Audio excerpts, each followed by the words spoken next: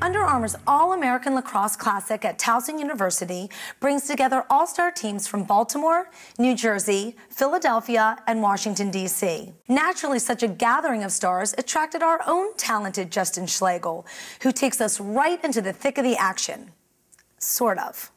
Today, we're going to be talking to some of the best junior lacrosse players from around the country. We're going to meet the coaches, we're going to meet the players, we're going to meet the families, and we're going to talk to them and find out what it took to get here to the Under American All Climber Speak Good Classic of what it took to get here to the Under Armour All American Lacrosse Classic.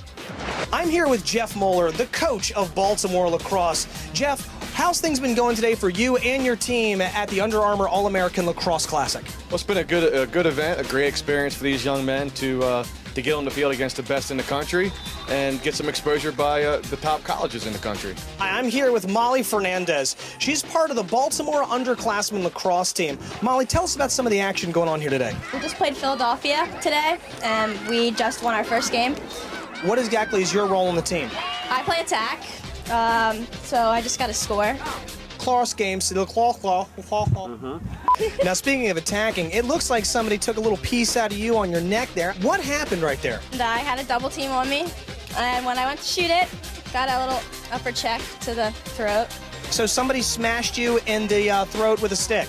The Under Armour All-American Lacrosse Classic Tournament of Champion of the Stars slash Bow Fighting Tournament. Molly, we wish you a lot of luck today. Take care of yourself on the field, all right? Still here on the record. Still here on the field talking to coaches and players, and I am joined by Jimmy Oliver. Now, we understand you made your way down from Philadelphia. What kind of criteria were you looking for when you assembled your team? Athletes. I wanted athletes. That's what I needed, uh, and I think that's what we got. Our poles are all very athletic. Our attackmen can do more than just shoot. Middies need to be able to play both ways. Goalies, it was very simple. Don't let the ball in the cage.